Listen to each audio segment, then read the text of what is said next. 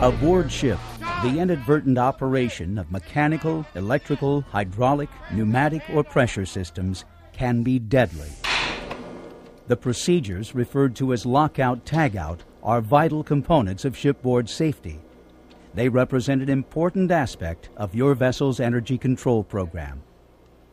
Lockout ensures that machines or systems cannot be accidentally energized when personnel are in harm's way. Tagout alerts other crew members about the status of the equipment, why it has been taken out of service, and the identity of the individual who has applied the lockout.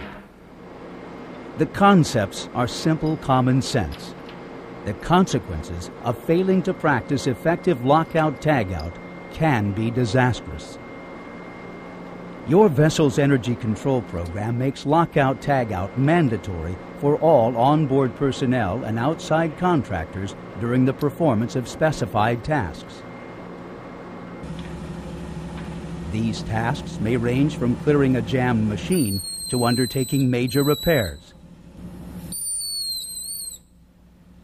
If lockout tagout is specified for the job you're about to perform, you've got to observe it whether or not you regard the job as dangerous, and whether or not it makes the work take longer. Don't try to hurry and bypass the rules. They're for your benefit. The accidental activation of electric power presents an obvious danger.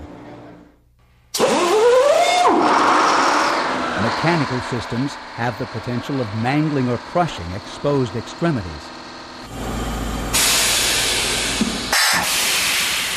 The inadvertent release of steam or systems pressurized with compressed air, lubricating oil, or hydraulic fluid can cause burns and other debilitating injuries. Practicing effective lockout tagout is the only way to guarantee that it won't happen to you.